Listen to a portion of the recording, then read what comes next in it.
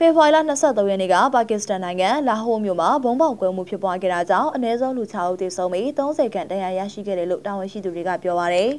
ဒါဟာသတင်းပတ်နှစ်ပတ်အတွင်းဆယ်ကြိမ်မြောက်အကြမ်းဖက်တိုက်ခိုက်မှုဖြစ်ပြီးအစ္စလာမစ်အစွန်းရောက်တွေရဲ့အကြမ်းဖက်တိုက်ခိုက်မှုတွေပြန်လည်မြင့်တက်လာတဲ့အခြေအနေတရက်ကိုရည်ညွှန်းနေတာလည်းဖြစ်ပါတယ်။ယခုလအတွင်းလာဟိုမြို့မှာဒုတိယမြောက်ဖြစ်ပွားခဲ့တဲ့အဲ့ဒီဘုံခွဲတိုက်ခိုက်မှုကြောင့်ကားတွေပျက်စီးသွားခဲ့သလိုတမျိုးလုံးကိုလည်းထိတ်လန့်တုန်လှုပ်မှုတွေဖြစ်ပေါ်စေခဲ့ပါတယ်။ပါကစ္စတန်နိုင်ငံတဝက်မှာအကြမ်းဖက်တိုက်ခိုက်မှုတွေဇလိုက်ဆိုသလိုဖြစ်ပွားမှုကြောင့်လူ130ကျော်သေဆုံးခဲ့ရတယ်လို့သိရပါတယ်။လူစီကားတွေဈေးတစ်ခုတွေကဆောက်လက်ဆအဆောက်အုံတစ်ခုမှာအခုလိုဘုံပေါက်ကွဲမှုဖြစ်ပွားခဲ့တာလို့လည်းသိရပ